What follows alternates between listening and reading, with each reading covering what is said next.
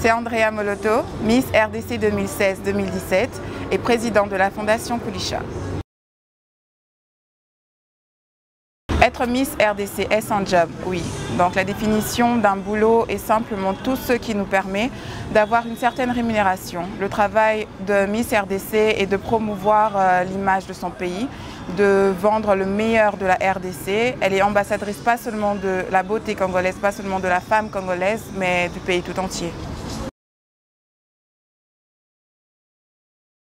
Le 31 mars 2017, j'ai lancé officiellement la fondation Kulisha. Kulisha est un mot swahili qui veut dire nourrir et nous avons pour devise de nourrir d'espoir la jeunesse congolaise.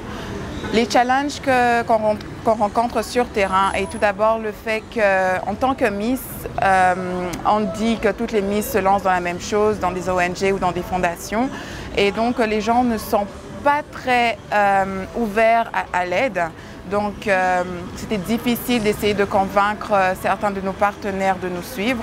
Certains ont ouvert leurs portes facilement, mais à d'autres, il fallait toquer un peu plus longtemps. Et en tant que femme, c'est aussi difficile de se faire respecter directement et euh, d'avoir des gens qui sont prêts à accompagner la fondation sans avoir, des attentes, je vais dire quoi, malsaines.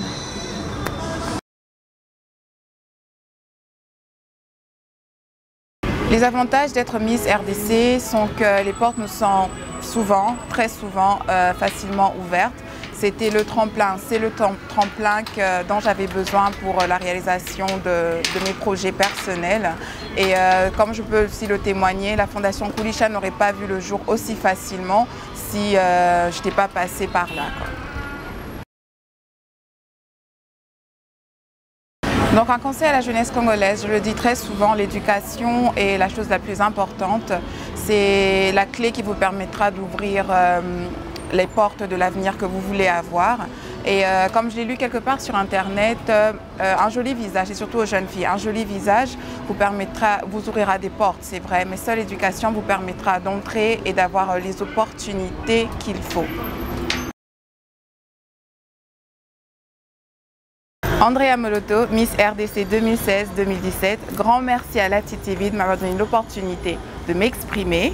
Grand merci à toute l'équipe, à Junior Bakula et à Ali. Et encore énorme merci pour le joli cadeau avec lequel je pars.